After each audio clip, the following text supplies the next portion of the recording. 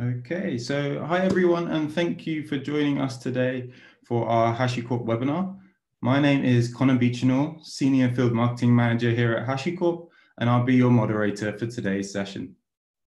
Today, I'm delighted to welcome Nicholas Corrarello, Regional Director of Solutions Engineering here at HashiCorp, who today is joined by Kapil Arora, Senior Solutions Engineer, who'll be talking to you today about advanced data protection with HashiCorp Vault.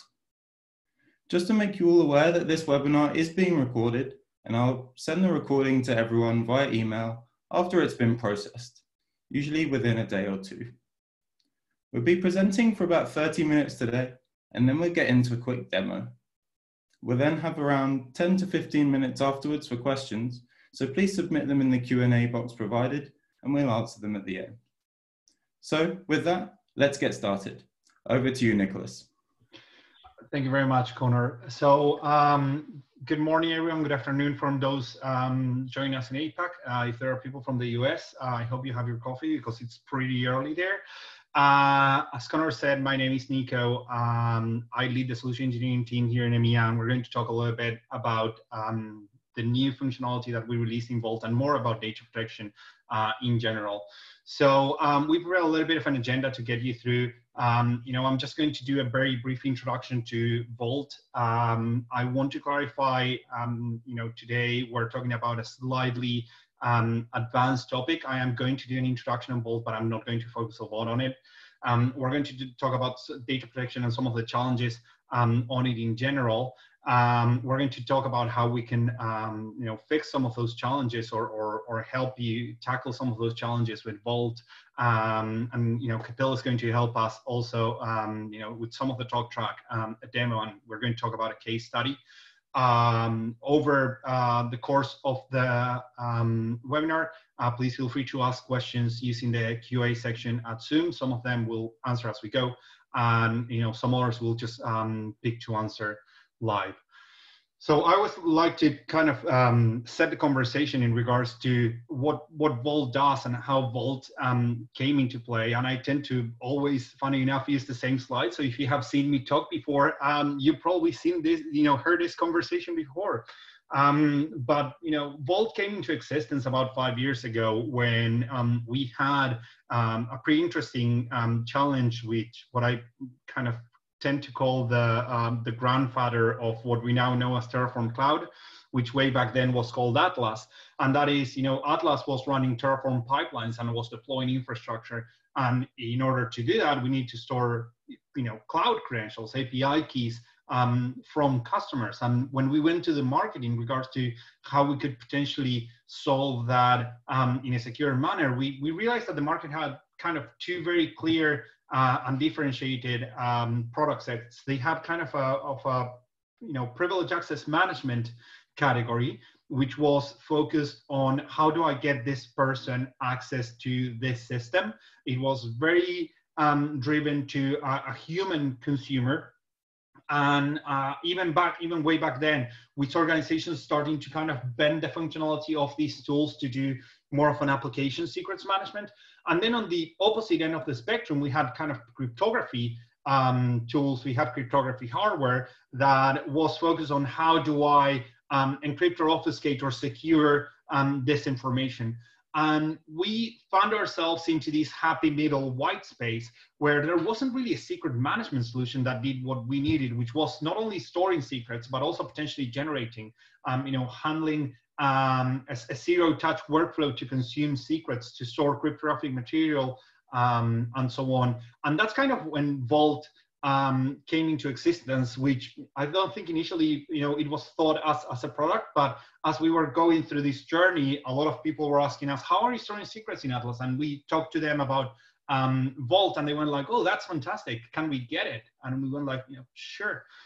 So talking about Vault um, in particular, it, it it's a very well-known project, a very well-known tool, and a, a, widely adopted platform right now for um, secrets management. The idea is you should be able to store your, um, you know, secrets and credentials uh, centrally. That you would have a central um, data encryption platform that you could consume from on-prem or any cloud or any perimeter And um, somewhat recently, we decided to venture into this advanced data uh, protection space and look at use cases that maybe we haven't seen traditionally in Vault and maybe we didn't plan initially um, in Vault. But you know, as as you see on the slide, we have about 300 customers.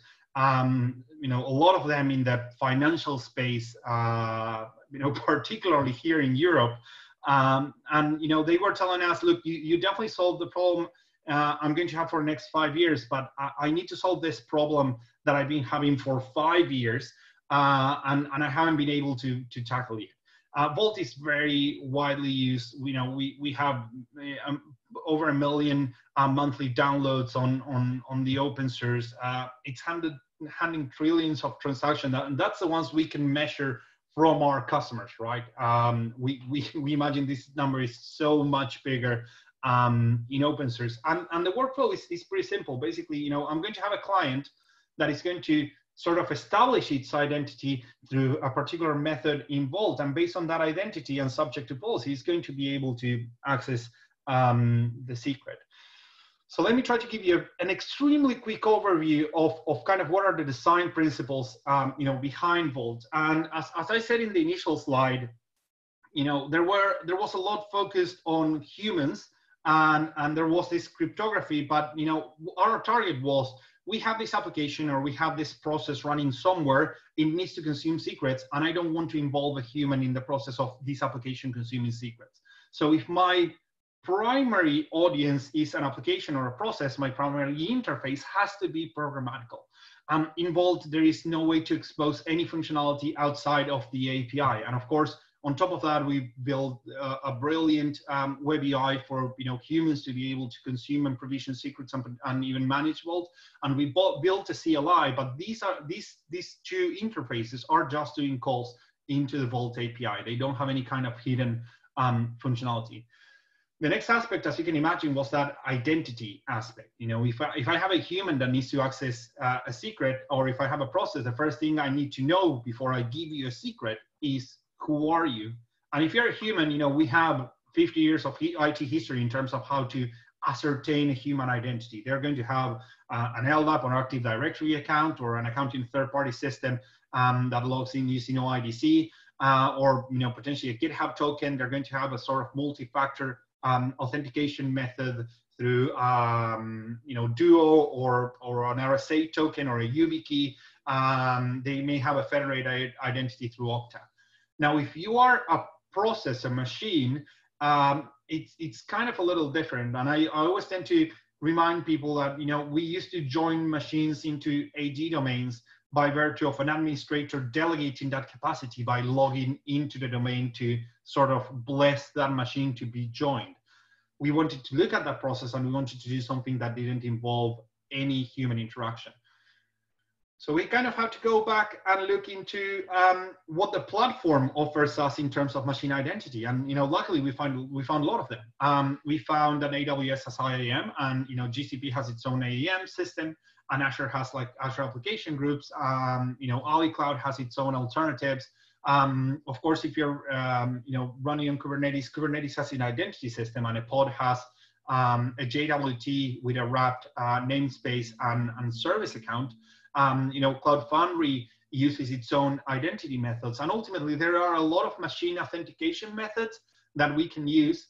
And you know, regardless of how you log into Vault, how you establish your identity, you're going to get a short-lived token that identifies you for you know follow-up operations. So once I know who you are, I need to kind of define um, what can you do. And we have a traditional policy system, um, you know, that we call ACLs or access control lists involved that, and those policies are associated with tokens. And they're pretty basic in the sense that they will look at what kind of secrets um, you can get. But on top of that, we have a governance system uh, called Sentinel that you might be aware because you might be using it on, on Terraform Enterprise.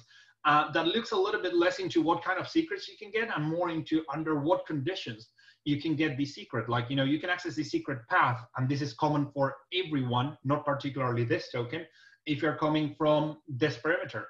Or you can access the secret path if you're doing it on a change window.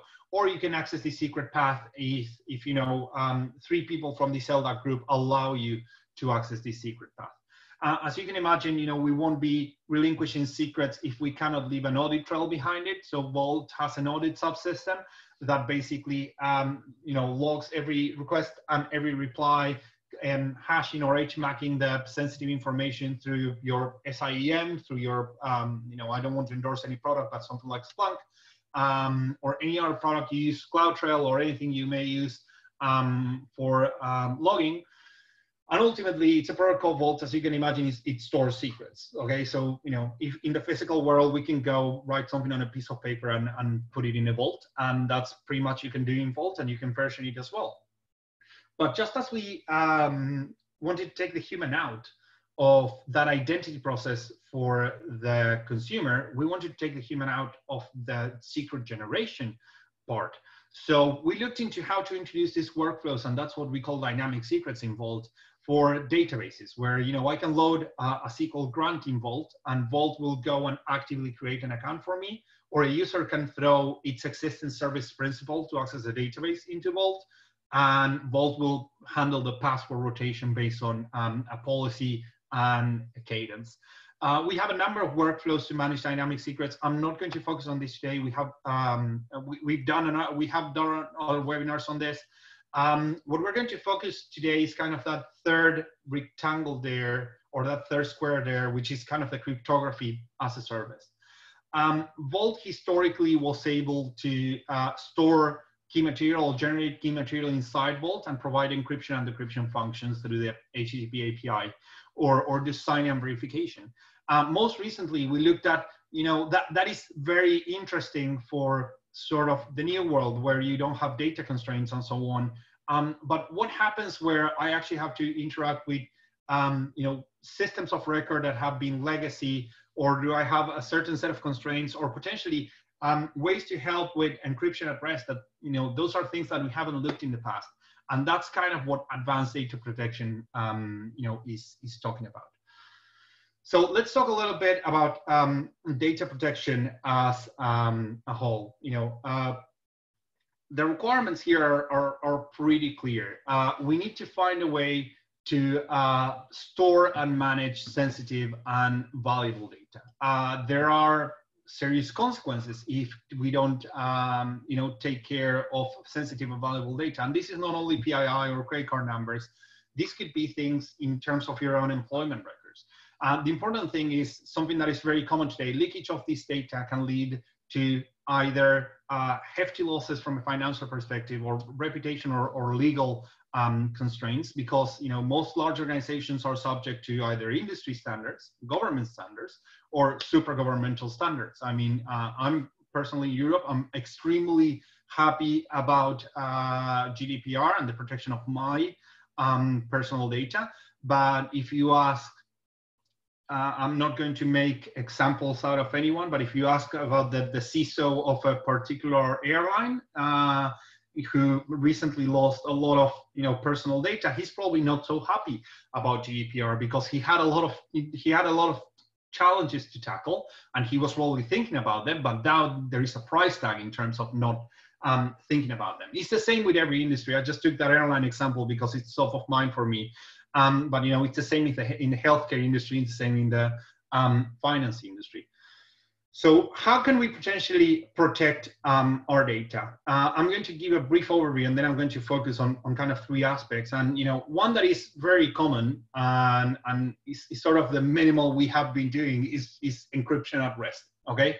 We have data, that data is stored on disks. You know, we, we're taking the traditional protected perimeter uh, approach, particularly in local data centers. So um, guess what? If someone steals a hard drive, or if a hard drive goes for um, you know for recycling that is not scrapped, uh, we have to make sure that data is not, not able to be retrieved um, from that hard drive, and that's literally what encryption at rest looks like. Um, you know, we have encryption in transit. Potentially, I don't have access or management to the um, storage of that data, and I need to control that data while it flows through networks that might be you know more or less trusted i need to encrypt that information as it flies in order to uh, ensure that it's secure not only uh, at rest but while it's flying through processes or applications Um, we have tokenization, which is a very popular concept, which is basically instead of storing that this data, I'm going to indirectly store um, this data by virtue of storing a token that refers me to that data. Um, there are some interesting concepts that you know have been around for a while, but have been traditionally very hard to implement, like format preserving encryption.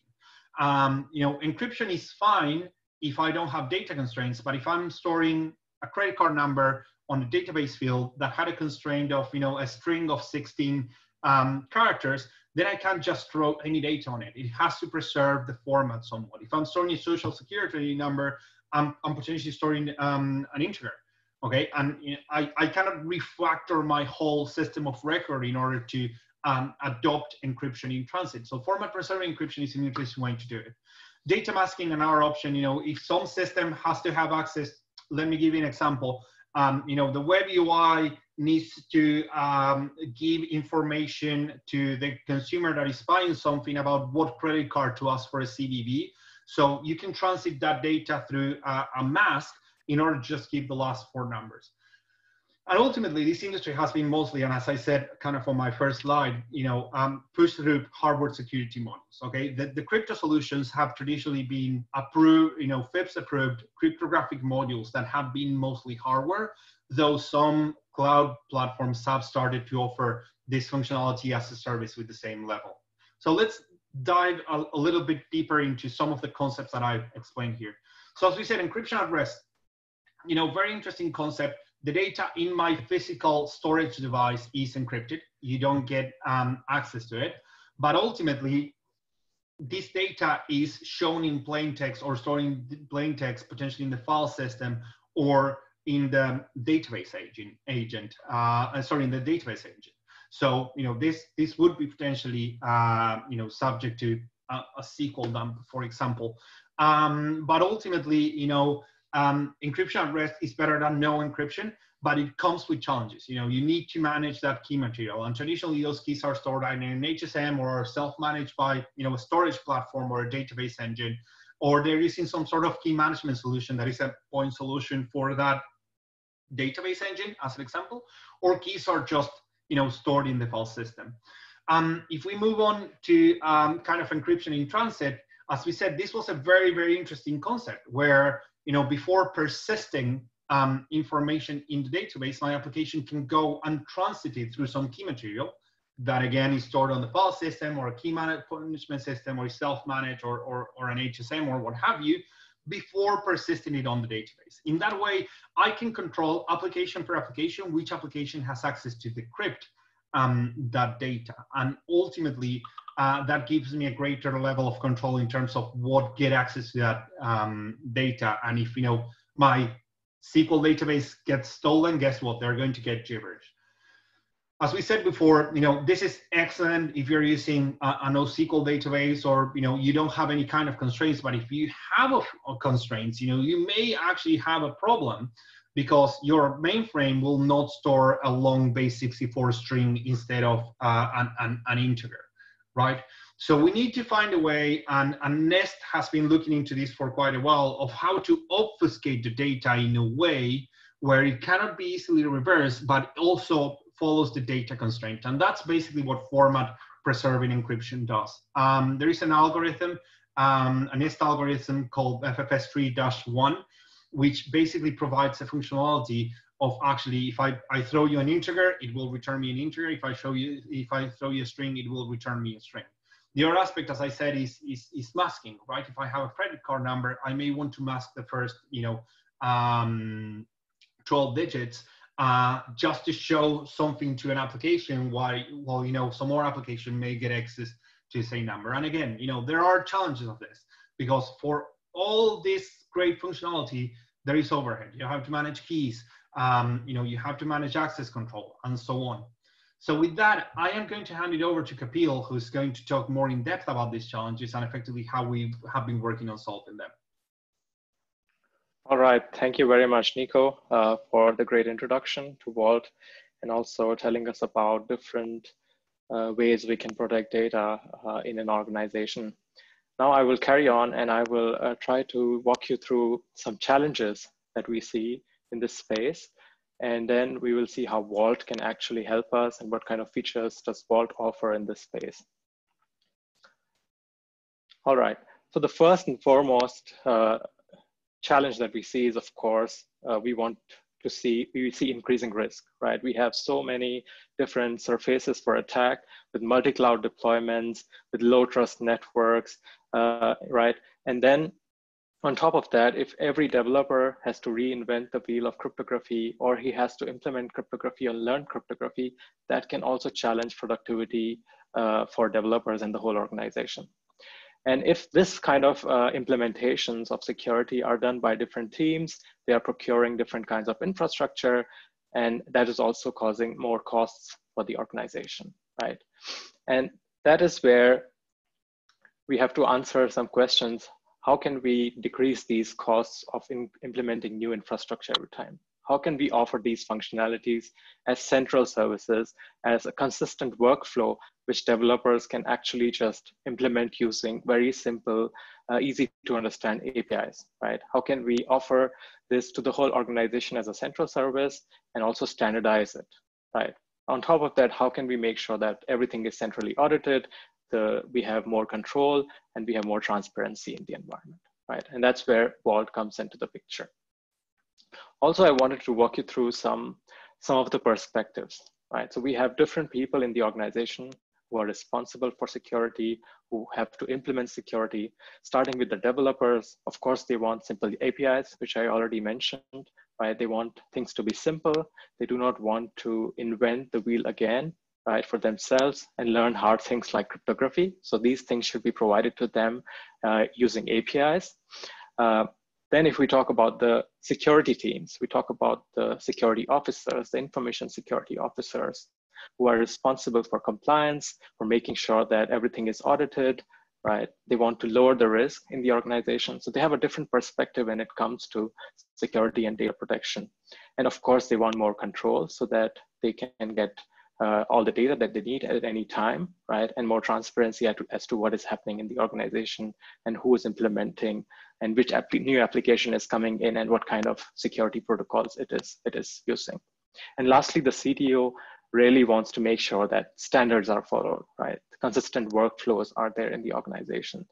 Uh, his workflows, his workforce is productive, right? And all, all three of these personas and everybody in the organization wants to automate everything, right? So that's very, very important because once you develop something, you want to make it automated so that it just works and there is no human involvement as um, in, in the process, especially in security processes. All right, now, now let's talk about how uh, Vault and its features uh, implement data protection. Um, and we will majorly talk about these four features today. The first one is encryption as a service using the transit secret engine that Vault has, where we can use Vault uh, and Vault APIs to actually encrypt data and decrypt the data. Um, then we will talk about how Vault does format preserving encryption, how Vault offers data masking, both uh, FPE uh, and data masking with transform secret engine, which is very new, which came out in the latest Vault version 1.4. And lastly, we will also shed some light on how KMIP and HSM integration work in Vault. All right, now let's start with encryption as a service and how can we encrypt data. So this is an encrypt workflow. This means that the application receives uh, sensitive information like SSN number. This, in this particular case, it's a French SSN number. And then it sends it to, sends it to Vault and Vault uh, will encrypt the data and send it back to the application.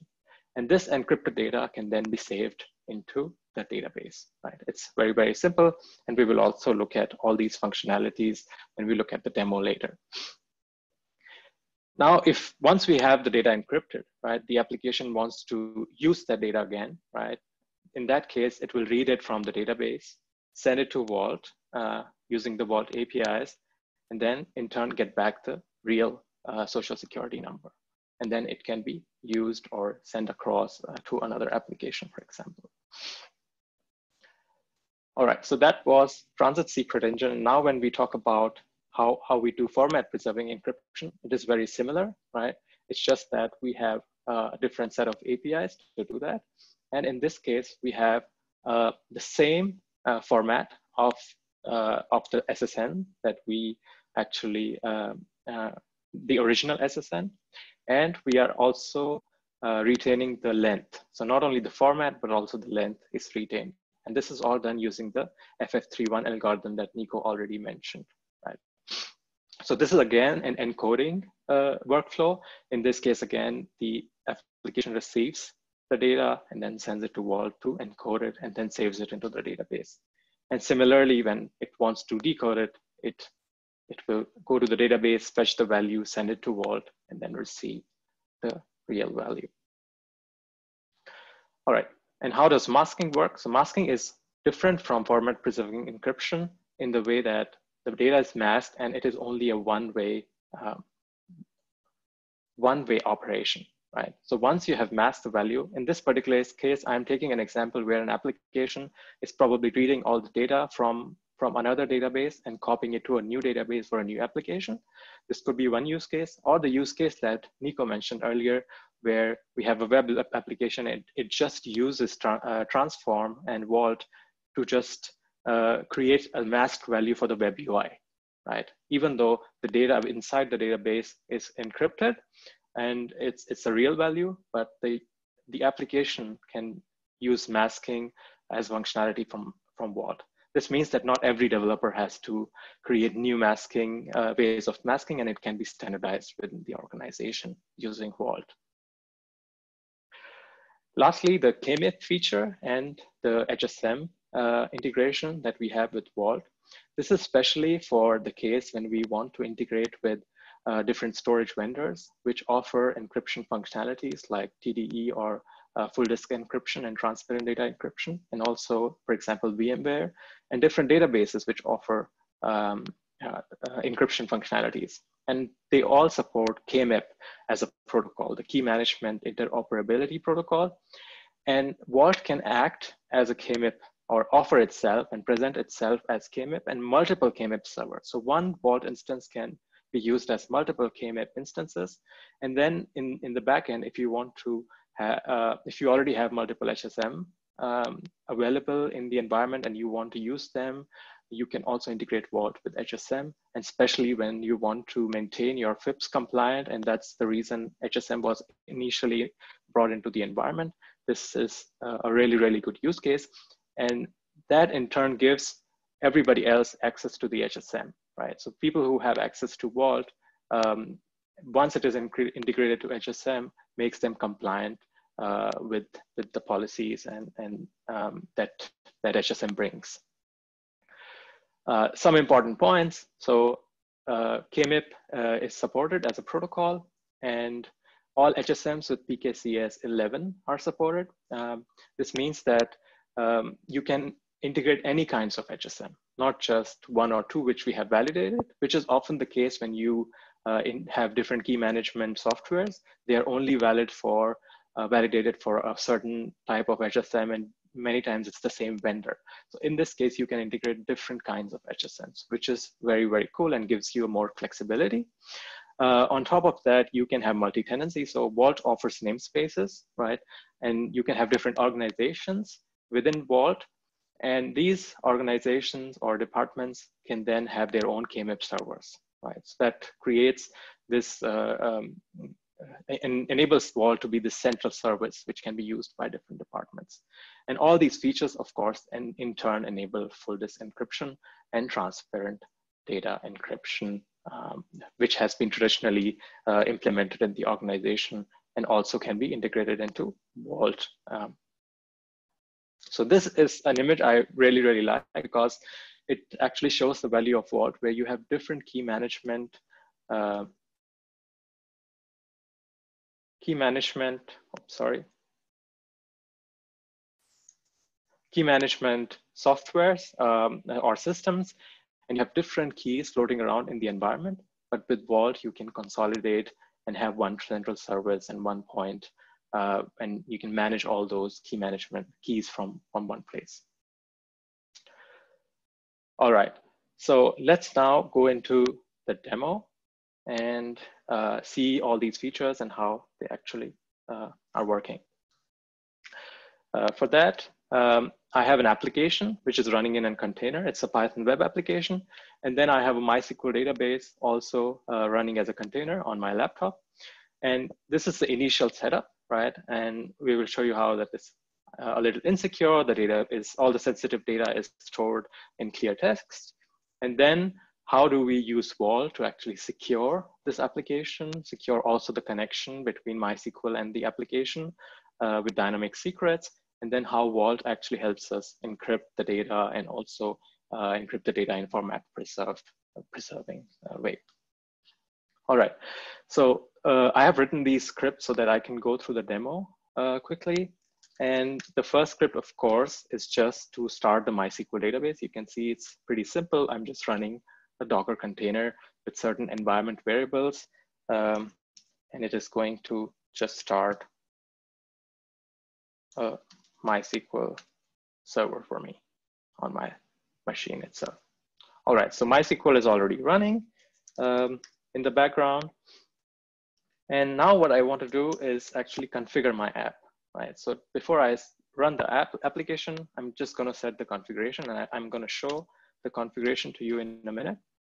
So this is the configuration right now. So I have given the name of the database so that it can connect to it and the port. And you can see I'm giving the username password that I just set up in, in the Docker container, which is of course not the right thing to do. I do not want to provide username password of a critical important database within the configuration of my uh, application, which uh, is not very uncommon, uh, I would say, and which happens all the time where uh, developers put credentials within the application configuration. Right? All right, so as a next step, what I'm gonna do is actually show you the application uh, by running it.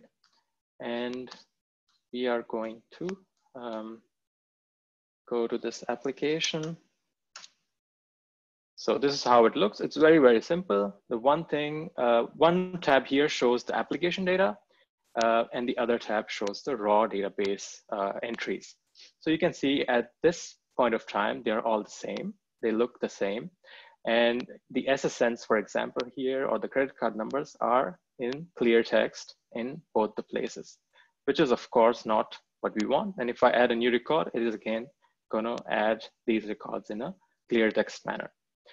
Now let's see how we can change this and how we can move forward from here. So first thing I'm gonna do is uh, stop my application so that I can reconfigure it and also add Vault configuration to it. And you can see right now, Vault is actually not enabled in my application. We'll just wait a few seconds. All right, the application is now stopped. And the next step, uh, so it was just docker stop commands, right? And the next step that we have is to bring Vault into the picture. So what are we gonna do to bring Vault? Vault is, as you know, a very modern application. It is just a simple binary, which can also run as a Docker container. And that's exactly what I'm gonna do here. And I'm gonna start um, doc, uh, Vault in a uh, Docker container as a dev, uh, in a dev environment. You can see I'm starting it in a dev mode. All right. Uh, sorry. All right, so Vault is already running and it has started. The next thing I must do is uh, provide a license to Vault. So many features that we are showing today are actually enterprise features. And for that, I'm using the enterprise uh, container here as well. So that's why I want to apply a license to it. And for that also, I have written this small script, which is just a simple command to apply the license. And at the end, I'm also looking at the status of Vault and you can see that Vault is initialized, it is unsealed, and it is ready for our consumption. All right, uh, as easy as it was, now we are going to configure different uh, plugins, different secret engines so that we can make our application more secure. So let's see how we can secure our database. So to secure the connection between the application and the database, we are going to use something called a database secret engine, and we are going to use the MySQL plugin. I'm going to enable this secret engine at a particular path. I can choose whatever path I want. And then I'm going to provide it with the MySQL details. You can see username, password, and the MySQL endpoint. And then I'm going to eventually give it the root username password. But uh, of course, I'm providing it with root password and it will be good to change that root password, right? So what I'm gonna do is as soon as I provide Vault with this access, I'm gonna rotate this password and the password is going to be changed and no human has ever seen this password before. After that, I'm gonna implement a couple of roles, which will enable my application, the Python application that I'm gonna use later to get credentials from Vault for this database. And you can see there are these roles are also giving time to live values. And I can also give small time to live values, which makes these credentials really dynamic that I only get a credential for three minutes and then the access is not uh, there anymore and the application should receive new credentials if it wants to access the database. And lastly, we will also test this quickly, how it really works. So let's, let's run this script and see how this all works.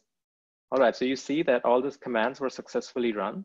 And at the end, when I'm asking um, Vault for database credentials, I'm getting a username password for my MySQL server. So these credentials can now be used for the next three minutes to access the database, which I think is really, really cool. Although this is not part, uh, essential part of the webinar today, but I thought it was important to show that uh, the dynamic credentials can also be added as part of a, securing an application. All right, so uh, next step is to set up the transit secret engine. Transit secret engine, as I showed you earlier, is responsible for encryption and we can enable it uh, with this simple command, at a path of our choice, and then we can create keys. So I can create multiple keys to do different uh, encryptions for different values. So if I want to encrypt my uh, SSN with a different encryption key compared to my credit card number, I can do that, for example.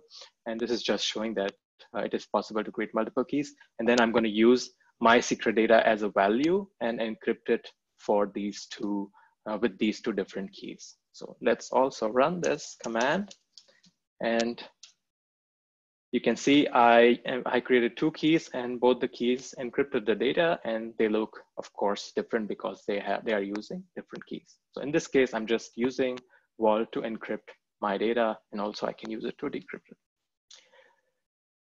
Now let's look at how we can use the uh, transform secret engine. It is also very similar right? I'm going to enable this transform secret engine and I'm going to create a role SSN and then say this is the transformation I'm going to use for it.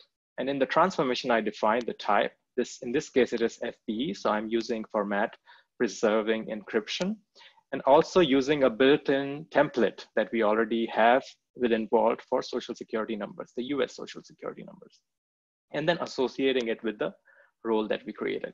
So very, very simple to set up in a couple of API commands or a couple of CLI commands. And then I'm just checking if everything worked. And then at the end, I'm also gonna encode a value and show you that you can also decode it. All right, so let's run this script as well. So you can see that this value 111223333, this SSN is encoded as 417973897, which is a totally different value and has nothing to do with the original SSN. Uh, now I can decode this value using this command. Um, and it should be able to 417 So you can see I was able to decode this value and I was able to get it back. So as an application, I'm able to run uh, run these APIs and get and receive the encrypted and decrypted values. And you can see I got a notification that my MySQL uh, credentials have expired that I just created as well. All right, so moving on, let's also look at the transform secret engine setup for my credit card, which is actually going to do masking.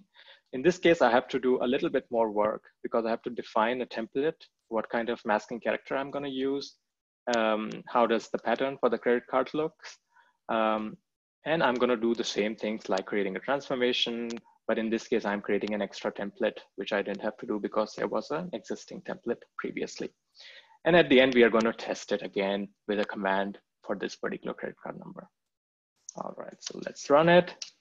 And you can see everything runs successfully and my credit card number, which ends with 1111 was masked uh, like this in this particular format, which I wished. I could have used stars here, asterisks, or I could have uh, used um, used only the first four digits. So it's up to me what kind of masking I want to do, and I can describe it in this particular configuration that I made.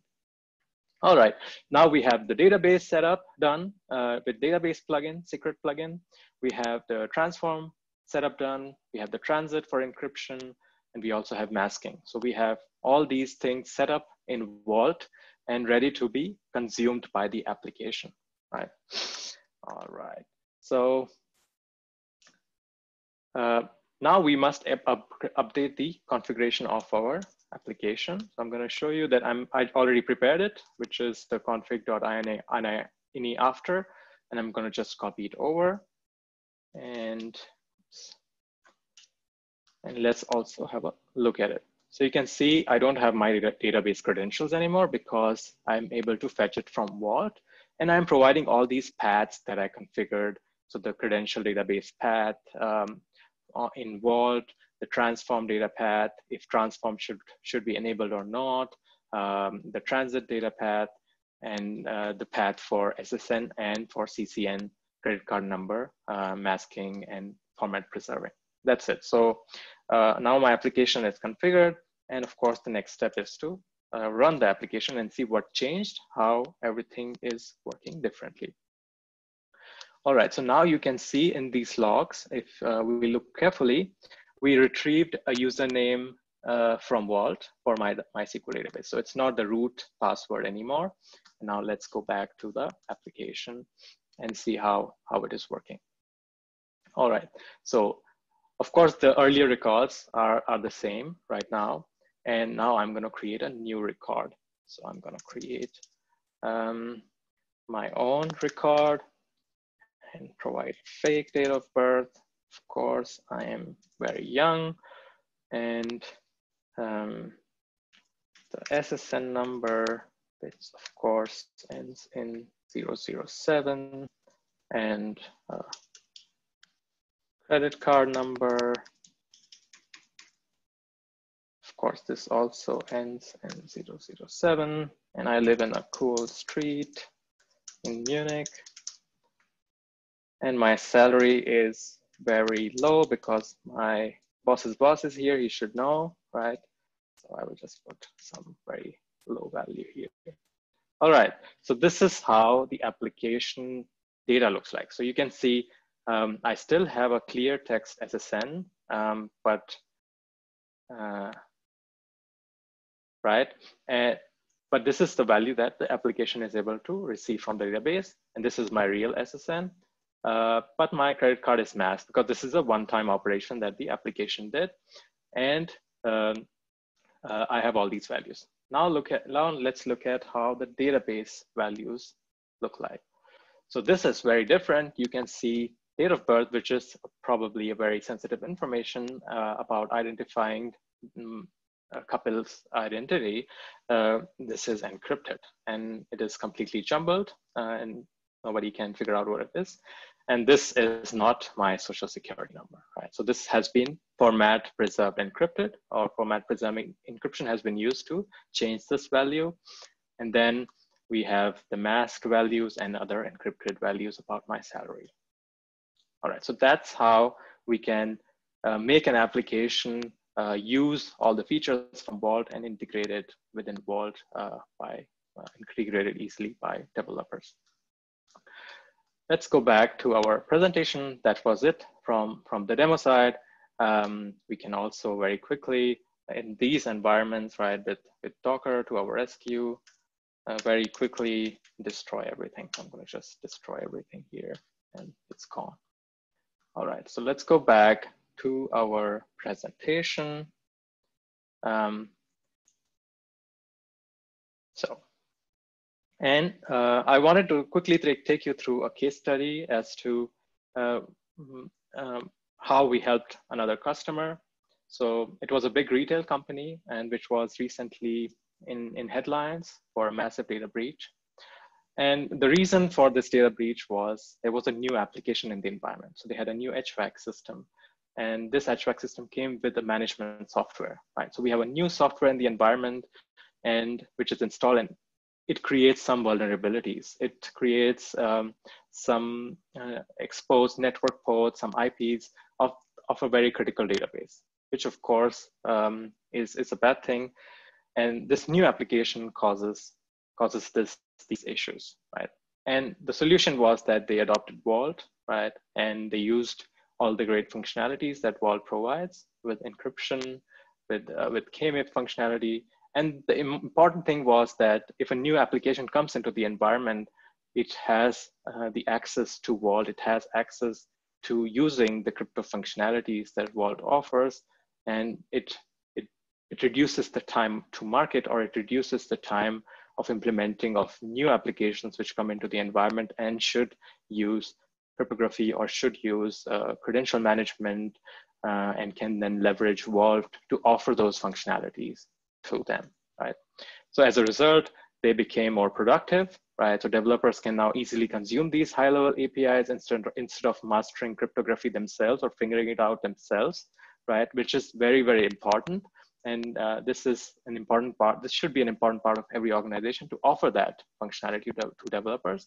And at the end, reduce the risk uh, by doing everything centrally and managing all the keys centrally.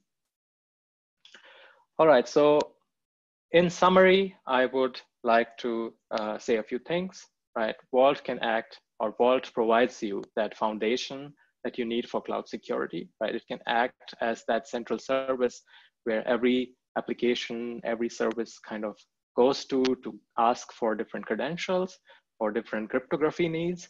Right? It offers really good advanced data features like encryption as service, format preserving encryption, which is very, very difficult to implement, right? And data masking as well, so that developers can easily consume it. And for any kinds of traditional applications, any kinds of implementations that you already have which support KMIP protocol or if you already have HSMs which you want to integrate, Vault also offers you to add these into this central service so that you can have one major place where you get all auditing information, all, um, all access information, and have more control for, for, from the point of view of the security teams and have better transparency. And lastly, you can be more agile, right? As we saw in the case study, um, and you do not have isolated cryptography happening within your environment, which in turn reduces the risks and the costs associated with, um, with implementing these features uh, for any kind of organizations. That's all I had. Um, if there are any questions, uh, Nico and I will be very happy to answer them. So Kapil, I'm, I'm going to take one that, that was on the chat around, you know, uh, the, uh, the, the format of the, the French SSN number. I, I want to clarify that for the simple demo, we didn't pay much attention into it. But um, when you set up format preserving encryption, you can set up um, a pattern in the template in regards to what numbers get uh, substituted or what um, aspects get substituted of that element that you are encrypting.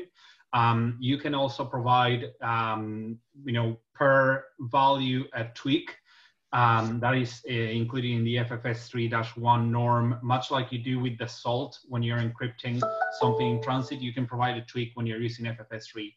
So um, if you need to preserve certain characters to recognize because you're doing some kind of string evaluation that this is, um, you know, something that you do um, that that that this is a, a, social security number, you can absolutely um, do that.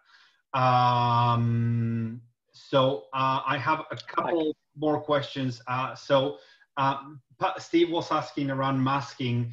Um, I want to clarify this that masking is purposely not reversible.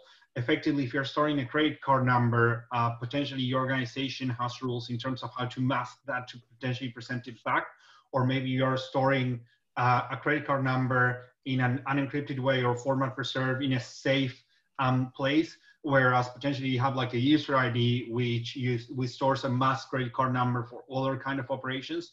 So the idea about masking is that it is not reversible. It is purposely not reversible. Um, Kapil, I don't want to put you on the spot and I can talk about this, but uh, Pavel was asking us if, if you can show us how it looks on the application um, you know, in terms of what is actually exposed. Uh, I'm just going to make a quick comment while Kapil loads up the code that um, this varies. There are certain libraries that already provide abstraction um, for this. Uh, I know we're working particularly in the case of, of Spring with regards to some abstraction. I know when I'm writing code, I generally write an, abstract, an abstraction for my data processing that already includes transit. So basically, um, when the application reads the data, uh, there is a function already that has, um, you know, uh, unwrapped. But your mileage may vary on these depending on, you know, kind of how your application structure and what language are you um, using. Uh, in Python, uh, Kapil, I'm going to give you the, um, you know, give you the floor to show it.